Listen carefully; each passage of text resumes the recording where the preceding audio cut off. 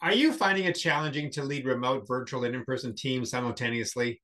John Katzenbach's research in his book, The Wisdom of Teams, and what we learned during the pandemic when nearly all of our clients had remote, virtual, and in person teams tells us that the first step is to structure your teams around the results they are charged with delivering.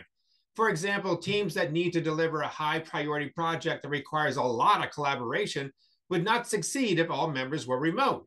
Conversely, in person contributors at the office would be just as productive or even more so if they worked remotely. In short, the structure of a team indicates the results it gets.